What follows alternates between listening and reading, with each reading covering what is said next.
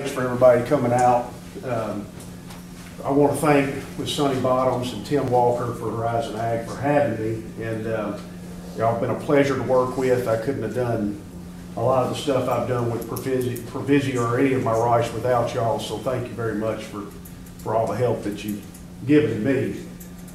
Who, I guess everybody in here is familiar with Provisia and, and is everybody familiar with Provisia and, and what, uh, and what the, the goals of Provisia Rice System are. And, um, for me, um, yeah, I guess y'all, y'all know that uh, farming is kind of stressful. Uh, I used to be thin, have hair, uh, look like Tom Cruise, I guess, but uh, something happened with, with uh, farming and uh, now I don't feel that way anymore.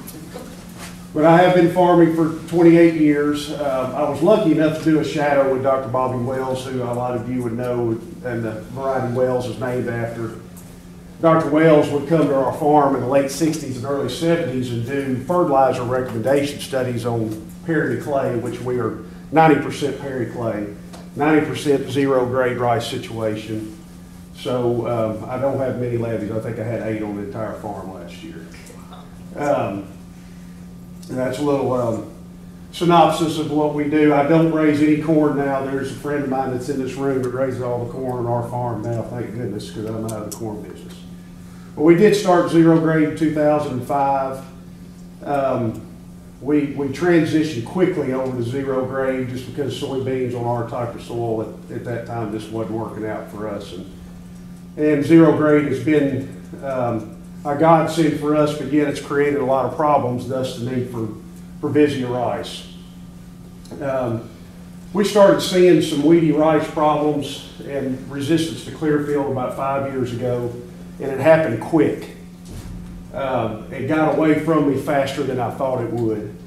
And two years ago, I, I started the uh, Provisia rice system, system and uh, and the thing about it, I always rotated my chemistries. I was a fanatic about trying to keep my Clearfield and my conventionals rotated so I wouldn't get the resistance problems. And I did anyway. So um, thank goodness for the Provisia system that came in. And started in 2018. I, uh, as most of you know, we don't, you know, you, you can't and Tim, Sonny, you may help me with this. Is it two years after Newpath or one year after Newpath? Used to be two years. Two years. So I, I had, uh, on all of my Provisia acres, I had had rice behind rice. So I started, I went to Beyond in 2008. So I haven't had any Newpath at all in, in 10 years. Um, so my Provisia is behind uh, a Clearfield variety. So uh, all of my, what, I, what I'm going to show you later is kind of the program that I used. So keep in mind, this is rice behind rice. It's continuous rice. All right, our first, I've got four different scenarios here and two drill seeded scenarios and two water seeded scenarios. As you'll see in this first one, I had a, a field that I planted on the 28th of this year and, and before I get into that, I, I want to, in 2018, I had 162 acres of Provisia. I water seeded all of it. I water seeded it all at 95 pounds. That's too much. But I got lucky because I did it early and we had plenty of geese and ducks left over and they thinned my whole stand out. So unlike during the regular season when I can't kill a duck, I've got plenty after the season's over. Um, but so in 2018, uh, it ended up being an optimum stand. But one thing that I'm going to try to emphasize is that seeding rate is very important with Provisia. And I think your seeding date is very important with Provisia. But in this first scenario, I, I went out and, and we ended up drilling 65 pounds. On my particular ground, I was, you know, I was scared that 65 wasn't enough. 65 is plenty. And this year, I'm going to shoot for more in the 60 to 62 range uh, in my drill seeded uh, rice. And then the, when I kind of felt like I was getting not getting out enough, I upped it to 75 the, the very next day. So you can see everything that we did. We came in with a DAP application. And this is just showing you, the, the main thing I wanted to show is that this rice is very economical, economical to grow. The weed control, uh, cost is, is, I would say anywhere from thirty to fifty dollars less an acre than what I was doing on other rice systems.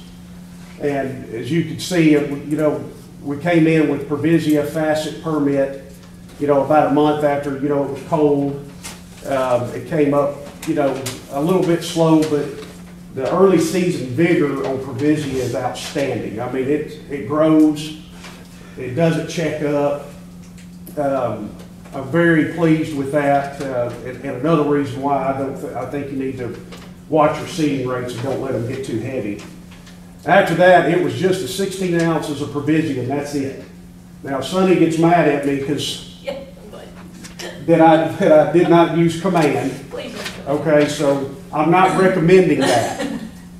I am saying that, that we just didn't, I, I do command on a lot of things. And, no, don't get mad at me, Otis. I, I see you over there doing this, and, but, uh, I do use command, and I recommend using command. We just weren't able to do it, we didn't do it, it wasn't, you know, anything that I tried to plan or anything, but, so we just went in there with sixteen ounces of Provisia, and that's it. That, the, the weed control was outstanding. I mean, we, the, I'll get into a little of the pros and cons of the whole system here a little bit. But you can go on and see, again, we're in a rice, behind rice, therefore I do use more urea than probably people that are in a rice soybean rotation. Um, one thing that I wanted to point out, we kept, this, this hundred pounds of potash and fifty pounds of ammonium sulfate, we got, and I, Sonny, help me remember, it was around June the fifteenth, somewhere in that area. Yeah. We started noticing certain parts of the field, I wish I had those slides that were starting to yellow, they, they weren't, dry, the, the- you know, the, the height rice difference was quite a bit. We took tissue samples and it came back potash deficient. Um, we, uh, according to our soil test and everything else, it didn't call for potash. You know, we may have been in the low end of normal, but, you know, I don't know whether it was just the year, Sonny, we had talked about, you know, it being such a wet spring that a lot of our potash leached, even though it, it doesn't leach though, right? Well, It's it a- was, it was, we saw a lot of potash deficiency all around around, South yeah. Arkansas with compaction and, and things like that, because it was wet. Well, we, Field work. you could definitely tell, and this, this particular field is a, is a sixty acre field and half of it was deficient. Mm-hmm. And so we put in hundred pounds of potash and fifty pounds of ammonium sulfate, and within three days, you could see a difference. And as you'll see down here, this field actually yielded the best of any of my situa, any, any of my, my Provisia situations. Um, we went with eighty pounds over here just because we felt like we had enough urea, I mean, enough nitrogen from the fifty pounds of ammonium sulfate. So that just kind of gives you a comparison. I do think it's really important with Provisia. Um, Provisia is, is definitely susceptible to kernel smut, uh, and false smut. And I, we put the, the Quilt Xcel at boot split. Uh, so, and I, I think that you could actually go earlier than that, don't you, Sonny? Uh, So I, I think it's vital to, for that fungicide application to be there with Provisia. See, we, everybody had stink bug problems, I had to spray every acre I've got with stink bugs for, um, so that kind of gives you a scenario in, in a, um, in a dry seeded situation. I think what it shows is that you don't need the extra cost for seventy-five pounds to the acre with Provisia.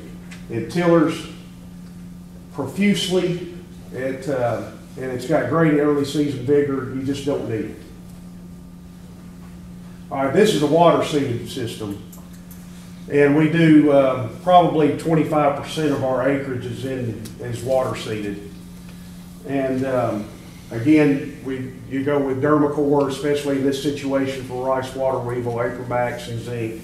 And you can see how, how much higher our seed costs are there. Now, this, this was done on four eighteen, seeded on four eighteen, and I had a field right next to it that was seeded on five-five. And this is another point I think it is vital for Provisia. Earlier the better.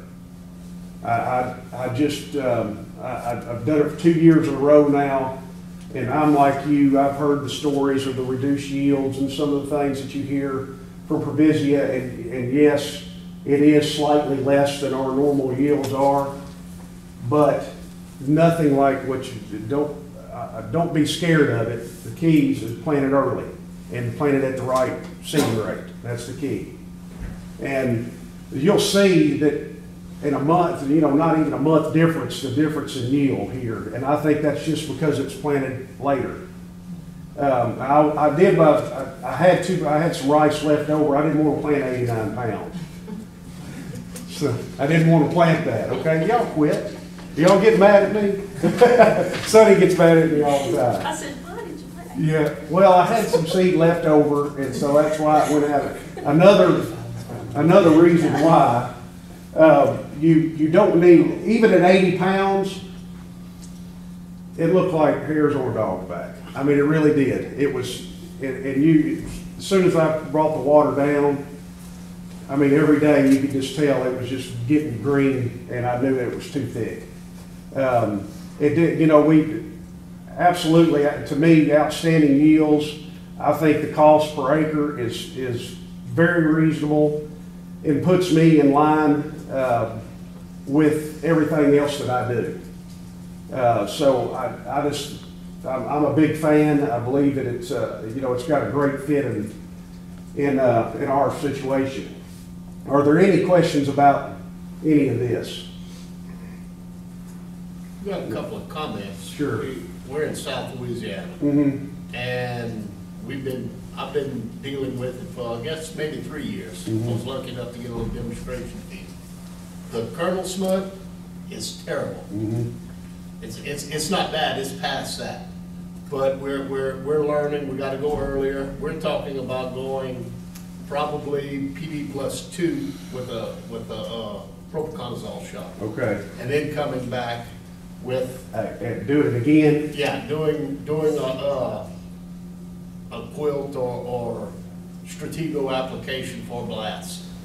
Sonny, you can help me out on this, but I- We're gonna probably go with like ten ounces of tilt the first round.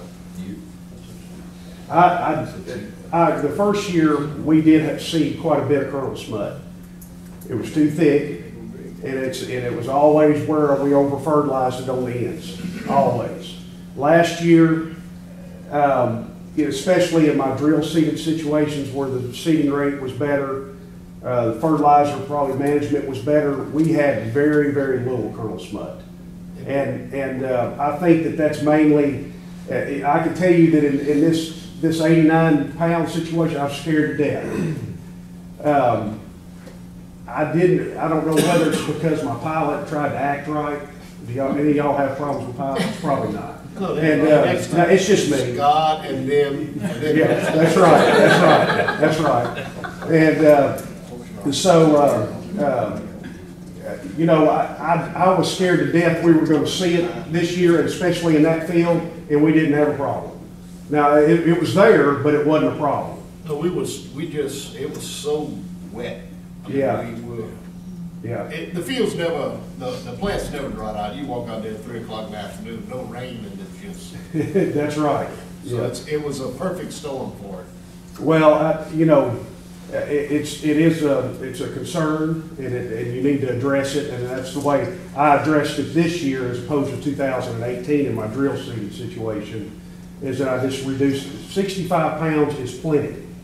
I can't, and, and I, listen, and, Yeah. and Fifty yes, is plenty. yes. and- and Well, I- he's got really, really heavy. buckshot. It's really heavy So buckshot. it's a little bit different than what. But, but also, it- it- what's interesting is, in that sixty-five, I- that was a no-till, that was a zero grade that I didn't rut up from the prior year, and I did no-till it, and every seed came up. But I think with Provisia, every seed's gonna come up anyway, it's, and, and the vigor is outstanding, I mean, it really, it just outgrows everything else. I have a question, somebody, no one else, oh, no, there was one back there. I was gonna ask you, Wes, you say it's water seeded, but did you manage it as a dry seeded crop after the? Yes, the yes, I, I, I water seeded, I, I bought the water down and then I managed it as dry seed from there on out.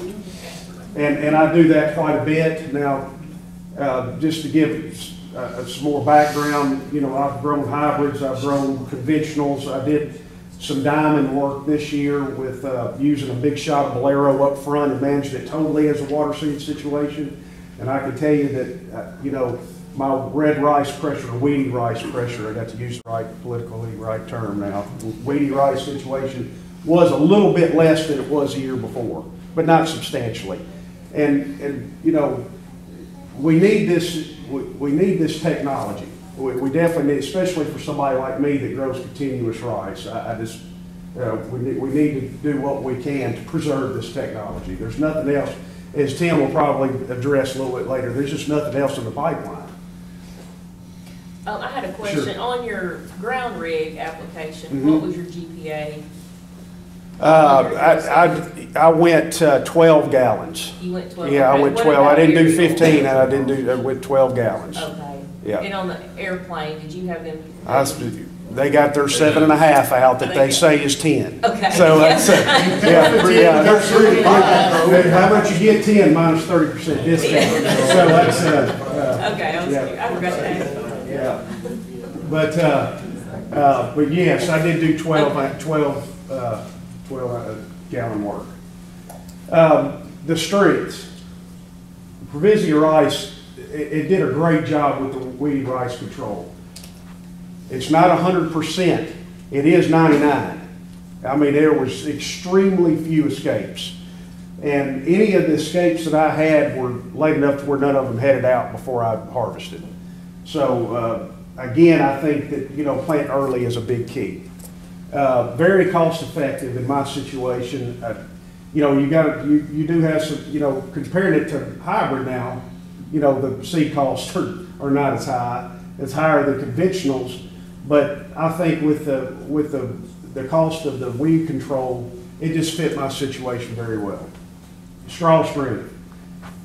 You can go fall down and never hit the ground with this stuff. I'm telling you, this, this stuff is strong. It's, um, uh, you know, we went through eight, 2018 and, um, you know how it was with hurricanes and everything else. We didn't have any of it go down. Um, Yields exceeded my expectations. I'm like everybody else. I was thinking, well, I'm gonna be lucky to get 150. I, I, you know, yes, I've, I've, I've, I've had neighbors that have had it and, but none of them have had a disaster. Everybody talks about these disasters. We just didn't see it. And, and it, I'm gonna, you know, this is gonna stay in my core rotation for a long time, I hope. Um, and I think that PVL one definitely exceeded my expectations. PVL two is gonna be better. Um, so I, I'm looking forward to nothing but more and more Provisia. Milling yield was very good. 2018, out of the field to a mill, so it just directly out of the field to a mill, did 59.69.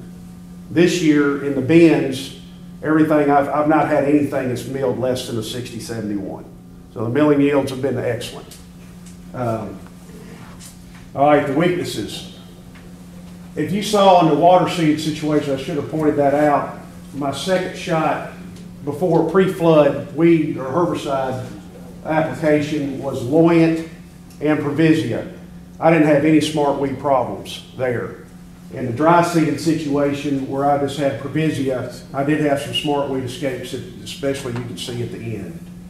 Um, there, again, very few weedy rice escapes.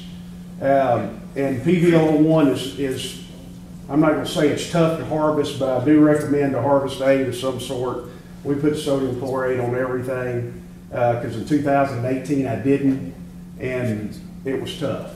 So I, I definitely recommend putting a harvest aid on, for your, uh, for your, uh, harvest aid. Uh, yes, it is flammable. There's a story behind this. Thanks, Sonny. Um, now, Provisia rice is just so hot, don't park your truck next to it. Uh, I went to the, co- my combine broke down. I, instead, I had to walk all the way out. Instead of bringing all my tools after the combine, I drove out there and you see what happened. Point is, is have a fire extinguisher that you know where, fire extinguisher was on the combine, but it was behind the ladder. So I, uh, didn't get to it in time and thankfully I, I didn't burn my combine up, but it, uh, that truck had eight thousand miles on it. And, uh, this is not so much in two thousand nineteen, but in two thousand eighteen, that's exactly how I felt. So, uh, Jack Nicholson, you, you, you, uh, you got a piece of my heart there, that's for sure. That's how I felt that year. Are there any questions? Wes, what about sheath blight? Um, Yes, uh, it's susceptible to sheath blight, and, uh, but just spray once with a fungicide? we just did one application of Quilt Xcel at Boot Split. Yeah. Um, And, uh, you know, I wouldn't say that I saw any more uh, than, you know, another variety such as Diamond or, or Clearfield 153. I don't- But, uh, uh, but yes, there, I would definitely watch for sheath blight.